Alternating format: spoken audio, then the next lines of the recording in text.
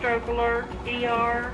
St. Mary's Medical Center has always been a leader in technology, and these new remote presence robots are the latest example of how we're helping patients across West Virginia and the tri-state. Hello, I'm Dr. Carl McComas, neurologist with the St. Mary's Regional Stroke Network. They called saying that you'd had the sudden onset of right-sided weakness. Our neurologists are nationally recognized for providing advanced stroke care.